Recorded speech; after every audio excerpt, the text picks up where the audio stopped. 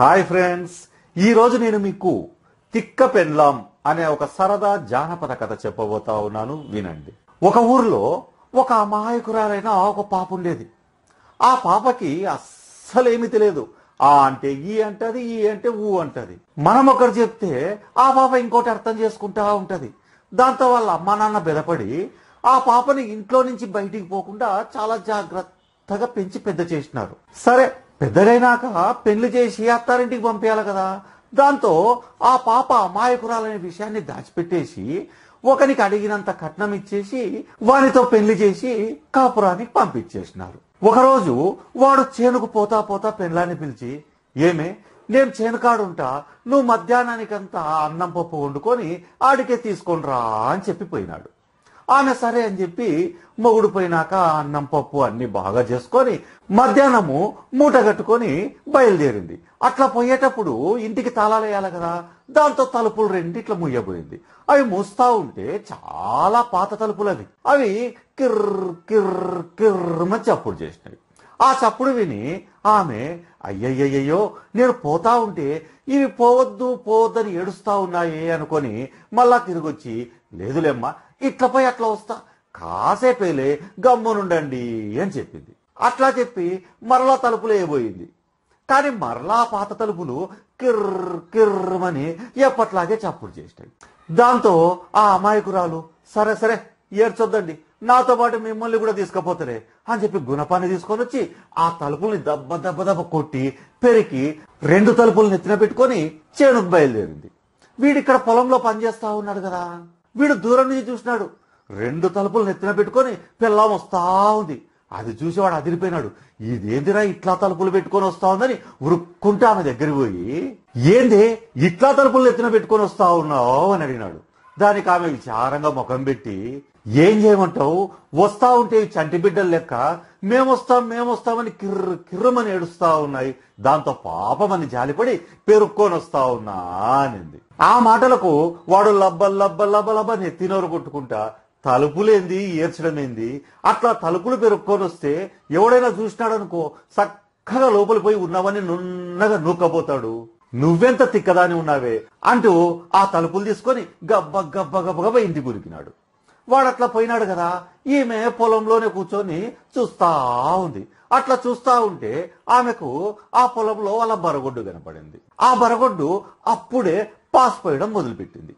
అది చూసి ఆమె అదిరిపడింది. అర్రెర్రెర్రెర్రే ఈ బరగొడ్డుకు కింద రంధ్రం పడినట్టుంది. నీళ్ళన్నీ సర్రన కారిపోతా ఉన్నాయి. అట్లా నీళ్ళు అయిపోతే ఇది చచ్చిపోతాదో ఏమో అనుకొని చెప్పి దాన్ని ఆపడం కోసం ఏదైనా బట్ట ఉందేమో అని అటు ఇటు చూసింది. కానీ ఎక్కడ చూసినా బట్ట కనపడలేదు.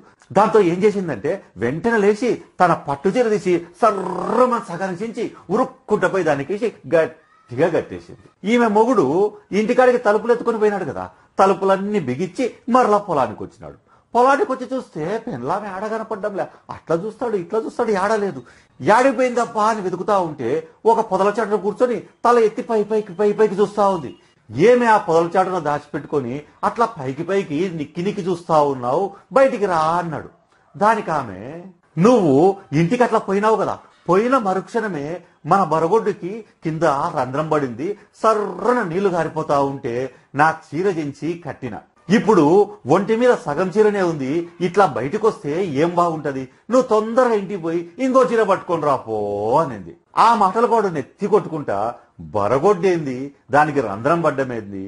బంగారం లాంటి పట్టు చీర సగాని సగం చించి నాశనం చేసినావు కదే ఇంత అమాయకురాలివైతే ఎట్లానే నీతో కాపురం చేసేదని ఉరుక్కుంటా ఇంటికి పోయినాడు. ఇంటికి పోయి మళ్ళా చీర తీసుకొని వచ్చి ఆమెకిచ్చినాడు. ఆమె ఆ చీర కట్టుకొని మళ్ళా ఇంటికి వచ్చింది ఇంటికాడ గుమ్మ ముందు కూర్చొని వచ్చే పోయే వాళ్ళందరినీ దారిలో చూస్తా ఉంది. అట్లా చూస్తా ఉంటే కాసేపటికి ఒకడు తేనెమ్మా తేనె తేనెమ్మా తేనె అని అమ్ముకుంటా వాళ్ళ ఇంటి ముందు వచ్చినాడు. ఆ తేనెని చూస్తూనే ఆమెకు సర్ర నోట్లో నీళ్ళు ఉన్నాయి. దాంతో వాడిని పిలిచింది అనా అనా ఇట్రా ఇట్రా కొంచెం తేనె నా నోట్లో పోసిపో అనింది. దానికి వాడు ఊరికేనే ఎట్లా పోస్తానమ్మా ఏమైనా ఇస్తే పోస్తా అన్నాడు. ఆమె ఏమిద్దామని అట్లా ఇట్లా చూసింది. ఇంట్లో ఇంకో బరగొడ్డు కనపడింది. అనా నాకింత తేనె పోసి ఆ బరగొడ్డుని తీసుకొని పో అనింది. దానికి వాడు ఆశ్చర్యపోయినాడు. ఈమెవరో పెద్ద తిక్కదాని లెక్కుందని సరే అమ్మ ఆడపోయాల తేనె అన్నాడు. ఆమె నోరు తెరిచి ఇదిగో నా నోట్లో పోయి అనింది. దాంతో వాడు సరే అని ఆమె నోటి నిండా తేనె పోస్తున్నాడు. ఆమె అదంతా హాయిగా తాగి అనాన ఇంకొంచెం తేనె పోయి వచ్చినాక నా మొగునికి కూడా ఇస్తా అనింది. సరే అని చెప్పి వాడు మరింత తేనె ఆమె నోటి నిండా పోసినాడు. అట్లా పోసి సంబరంగా ఇంటి ముందు నా బరగొడ్డెత్తుకొని అక్కడి నుంచి పారిపోయినాడు. ఆమె నోట్లో తేనె పోసుకొని మగుని కోసం ఎదురు చూసుకుంటా ఇంటి ముందు కూర్చొనింది. వాడు పొలంలో పని అంతా అయిపోయినాక చక్కగా ఇంటికి వచ్చినాడు ఇంటికి వచ్చినాక చూస్తే పెరట్లో బరగొడ్డు కనపడలే. దాంతో పెళ్ళాంకేసి తిరిగి ఏమే ఇక్కడ ఇంకో బరగొట్టుంటే కదా అది అడిగిపోయింది అని అడిగినాడు ఆమె నోటి నిండా తినబోసుకునింది కదా దాంతో మాట్లాడకుండా ఊ ఊ అంటా ఉంది కానీ ఏమీ చెప్పడంలే దాంతో వానికి సర్రమని కోపం వచ్చేసింది. ఏమే నేనింత నెత్తి నోరు కొట్టుకుని అడుగుతా ఉన్నా ఊ ఊ అంటావే గాని ఒక్క మాట నోరు విప్పి మాట్లాడవే. నీకు చాలా ఎక్కిందే పొగరు ఉండు నీ పని చెప్తా అని ఆమెను వంగబెట్టి దబ్బ దబ్బ దబ్బ నాలుగు గుద్దులు గుద్దినాడు. అట్లా గుద్దేసరికి ఆమె నోట్లో తేనె ఉంది కదా అది గుట్టు కున మింగేసింది. అట్లా మింగేసి ఏమ్రా నీ కోసం మధ్యాహ్నం నుంచి నోట్లో తేనె పెట్టుకొని ఎదురు చూస్తా ఉంటే మెచ్చుకోవాల్సింది పోయి నన్నే వంగబెట్టి గుద్దుతావా? ఉండు నీ పని చెప్తా అని మూలన చీపురు కట్ట తీసుకొని ఉరికి చిరికిచ్చి కొట్టింది ఇంటికాడి నుంచి. ఆ దెబ్బలకు వాడు తట్టుకోలేక ఈ ఇంట్లో దీంతో ఉండడం కన్నా పోయి ఆ అడవులో బతకడం మేలని చెప్పి ఇల్లు చేసి చక్కగా అడవిపోయినాడు అట్లా బాధపడతా అడవిలో పోతా పోతా పోతా ఉంటే బాగా చీకటి పడింది. సరే చీకట్లో అడవిలో పులులు గిల్లు తిరుగుతూ ఉంటాయి కదా. చూసినాయనుకో అంతే దెబ్బకు ఫట్టు అనిపిస్తాయి దాంతో ఏం చేయాలబ్బా అని చూస్తూ ఉంటే ఒక చోట ఒక పాడుబన్న గుడి కనపడింది. సరే ఈ రోజు రాత్రికి ఈ గుళ్ళో పన్నుకొని రేపు పొద్దునే పోదాంలే అని చెప్పి లోపలిపోయి ఒక చోట పన్నుకున్నాడు. వాడు చాలా దూరం నడిచొచ్చినాడు కదా దాంతో బాగా అలసిపోయినాడు. అట్లా పన్నుకోవడం ఆలస్యం ఇట్లా నిద్ర వచ్చేసింది అర్ధరాత్రి దాటినాక బయట ఏవో అరుపులు కేకలు వినపడతా ఉంటే ఆ నిద్రలోంచి వానికి నెమ్మదిగా మెలకు వచ్చింది. ఏమబ్బా ఈ రాత్రిపూట ఈ అరుపులు కేకలని నెమ్మదిగా చప్పుడు చేయకుండా అడుగులో అడుగు వేసుకుంటా వేసుకుంటా వచ్చి బయటికి తొంగి చూసినాడు. చూస్తే ఇంకేముంది? ఆ గుడి బయట ఒక పెద్ద చెట్టు ఉంది ఆ చెట్టు కింద కొంతమంది దొంగలు కూర్చొని వాళ్ళందరూ అరుచుకుంటా కేకలు పెట్టుకుంటా తాగుకుంటా అన్నం తింటా ఉన్నారు. వాళ్ళ పక్కనే ఒక పది గాడిదలు ఉన్నాయి ఆ గాడిదల మీద అంతా వాళ్ళు దోచుకొచ్చిన బంగారం అంతా ఉంది. వీడు అది చూసి అమ్మో నేను గనక ఇప్పుడు బయటికి పోయినానుకో వీళ్ళు నన్ను చంపినా చంపుతారని చెప్పి అక్కడనే దాచిపెట్టుకొని ఏం జరుగుతుందా అని చూస్తా ఉన్నారు. వాళ్ళందరూ బాగా తిని తాగి ఎక్కడో అక్కడ పడి నిద్రపోయినారు. వాళ్ళు అట్లా నిద్రపోవడం ఆలస్యం. వీడు చప్పుడు చేయకుండా నెమ్మది వచ్చి అక్కడ చెట్లకు కట్టేసిన ఆ గాడిదలన్నీ నిప్పుకొని అక్కడి నుంచి తోలుకొని ఊర్లోకి వచ్చినాడు. చక్కగా ఇంటికి పోయి ఆ గాడిదల మీద ఉండే బంగారం మూటలన్నీ దించి వాటన్నిటిని ఇంట్లో దాచిపెట్టి ఆ గార్దలను ఊరి బయటికి తన్ని తరిమేసి ఏమీ తెలియని అమాయకులు లెక్క మట్టసంగా ఇంట్లో పండుకున్నాడు. దొంగలు పొద్దున్నే లేచి చూస్తే ఇంకేముంది? గాడిదలు లేవు బంగారం లేదు. దాంతో వాళ్ళు రే ఈ చుట్టుపక్కల ఊర్లన్నీ పోయి వెతుకుదాం. ఏ ఇంటికాడ మన గాడిదలు కనపడితే ఆ ఇంట్లోనే బంగారం ఉన్నట్లు అని చెప్పి వాళ్ళు ఒక్కొక్క ఊరు పోయి వెతకడం మొదలుపెట్టినారు. అట్లా వెతుకుతా వెతుకుతా ఒక్కొక్క ఊరు దాటుతా దాటుతా వీళ్ళుండే ఊరికి వచ్చినారు. వాళ్ళు ఒక్కొక్క వీధే వెతుక్కుంటా వెతుక్కుంటా వెతుక్కుంటా వీళ్ళ ఇంటి ముందు పోతా ఉంటే ఈమె ఇంటి బయట కూర్చొని చుట్టూ చూస్తా ఉంటది కదా. ఆమె చూసింది. చూసి ఏమన్నా ఏం వెతుకుతా ఉన్నారు? ఏం పోయినాయి? అని అడిగింది. దానికి వాళ్ళు ఏం లేదమ్మా నిన్న రాత్రి మా పది గాడిదలు తప్పిపోయినాయి. అవి ఏమైనా ఇక్కడ ఎక్కడైనా ఉన్నాయేమో అని వెతుక్కుంటా తిరుగుతా ఉన్నామని చెప్పినారు. ఆ మాటలు విని ఆమె అరేరేరేరే ఆ గాడిదలు మీవే.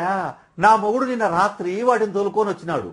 దానిల మీద ఉండే మూటలన్నీ దించి లోపల పెట్టి ఎందుకో ఏమో తెలియదు గాని ఆ గాడిదలన్నీ తరిమేసినాడు. గాడిదలు లేవు గాని మూటలున్నాయి కావాలనా? మంచం కింద మూటలన్నీ దాచిపెట్టినాడు చూడు. పో తెచ్చుకోపోండి పో అనింది. ఆ మాటలు వింటూనే వాళ్ళు సర్ర లోపలిపోయి ఆమె మొగుడిని పట్టుకొని మెత్తగా తన్ని బంగారం అంతా తీసుకొని వెళ్ళిపోయినారు. అది చూసి వాడు వాళ్ళ దారిన వాళ్ళు పోతా ఉంటే పిలిచి మరి తన్నిస్తీవి కదే. నీలాంటి అమాయకురాలతో కాపురం చేయడం నా వల్ల కాదు. నీతో ఉండడం కన్నా సన్యాసం పుచ్చుకోవడం మేలని చెప్పి ఇంట్లో వదిలేసి మరలా వెనక్కి తిరిగి చూడకుండా వెళ్ళిపోయినాడు. ఇది కథ. తిక్క పెన్లాం మిత్రులారా నా ఛానల్ పేరు హరికథలు. మీకు నేను యూట్యూబ్లో చెప్పేటటువంటి కథలు గనక నచ్చినట్లయితే నా ఛానల్ను సబ్స్క్రైబ్ చేయండి. అలా సబ్స్క్రైబ్ చేయడమే కాకుండా పక్కనే ఉన్నటువంటి బెల్ గుర్తు కూడా నొక్కండి. అలా బెల్ గుర్తు ఎవరైతే నొక్కుతారో వాళ్ళకు మాత్రమే నేను యూట్యూబ్లో అప్లోడ్ చేసేటటువంటి కథల మెసేజ్లు వస్తాయి. Thank you